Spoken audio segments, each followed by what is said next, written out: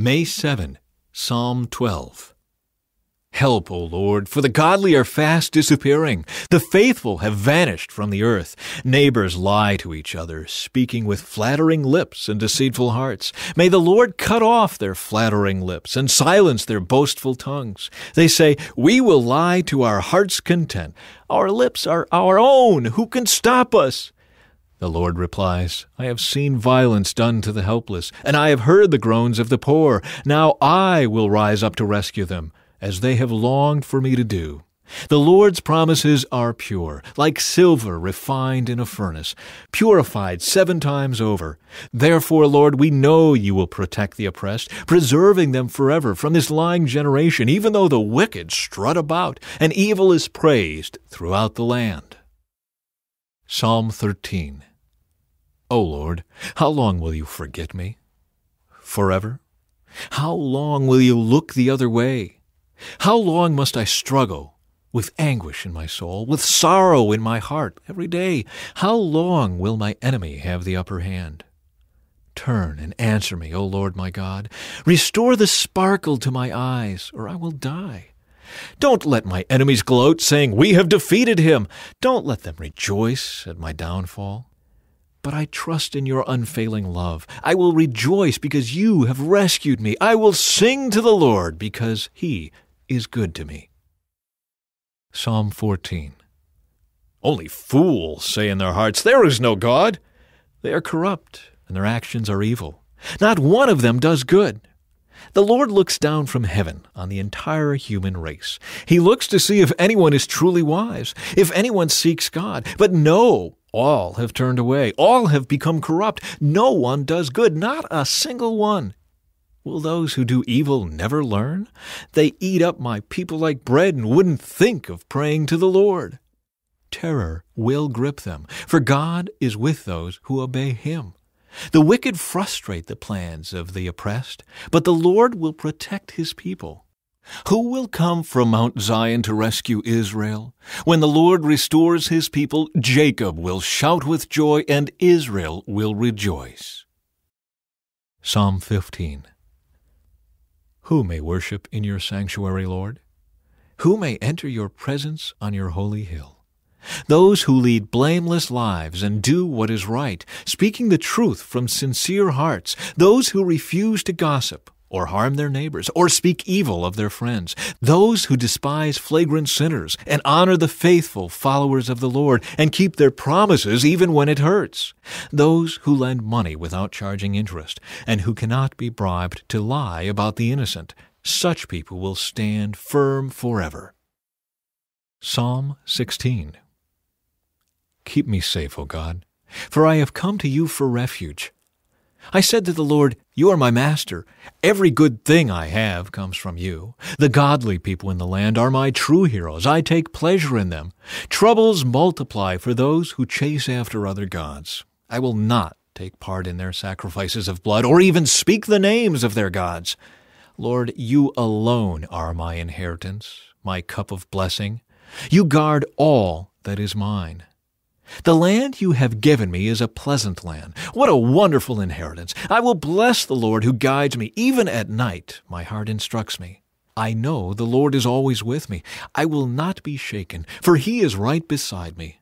No wonder my heart is glad, and I rejoice. My body rests in safety.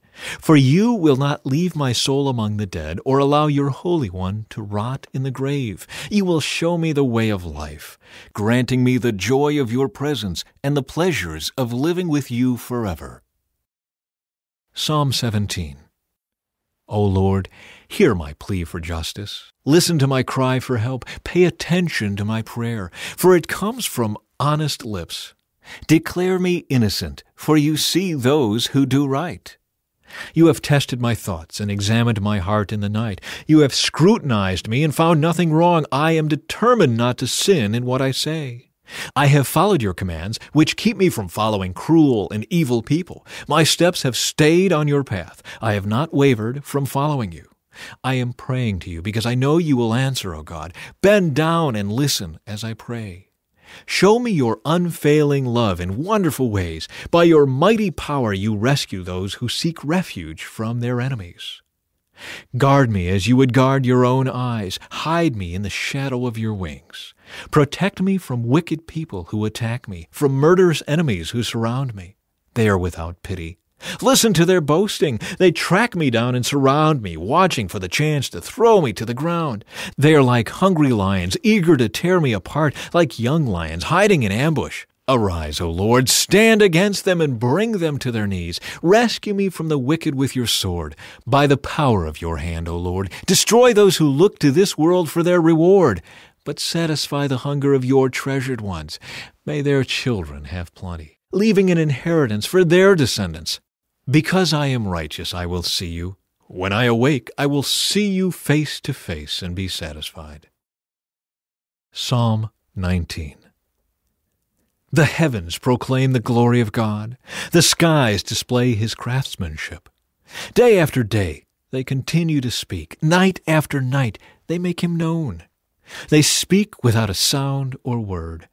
Their voice is never heard. Yet their message has gone throughout the earth, and their words to all the world. God has made a home in the heavens for the sun. It bursts forth like a radiant bridegroom after his wedding. It rejoices like a great athlete, eager to run the race. The sun rises at one end of the heavens and follows its course to the other end. Nothing can hide from its heat. The instructions of the Lord are perfect, reviving the soul. The decrees of the Lord are trustworthy, making wise the simple. The commandments of the Lord are right, bringing joy to the heart. The commands of the Lord are clear, giving insight for living. Reverence for the Lord is pure, lasting forever. The laws of the Lord are true, each one is fair. They are more desirable than gold, even the finest gold. They are sweeter than honey, even honey dripping from the comb. They are a warning to your servant, a great reward for those who obey them. How can I know all the sins lurking in my heart? Cleanse me from these hidden faults.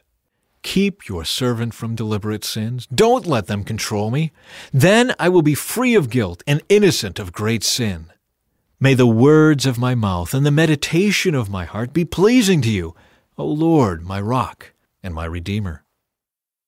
Psalm 20 in times of trouble, may the Lord answer your cry. May the name of the God of Jacob keep you safe from all harm. May he send you help from his sanctuary and strengthen you from Jerusalem. May he remember all your gifts and look favorably on your burnt offerings. May he grant your heart's desires and make all your plans succeed. May we shout for joy when we hear of your victory and raise a victory banner in the name of our God. May the Lord answer all your prayers. Now I know that the Lord rescues his anointed king. He will answer him from his holy heaven and rescue him by his great power. Some nations boast of their chariots and horses, but we boast in the name of the Lord our God. Those nations will fall down and collapse, but we will rise up and stand firm. Give victory to our King, O Lord. Answer our cry for help. Psalm 21 how the king rejoices in your strength, O Lord! He shouts with joy because you give him victory. For you have given him his heart's desire. You have withheld nothing he requested. You welcomed him back with success and prosperity. You placed a crown of finest gold on his head. He asked you to preserve his life, and you granted his request. The days of his life stretch on forever. Your victory brings him great honor, and you have clothed him with splendor and majesty. You have endowed him with eternal blessings, and given him the joy of your presence. For the king trusts in the Lord. The unfailing love of the Most High will keep him from stumbling. You will capture all your enemies. Your strong right hand will seize all who hate you.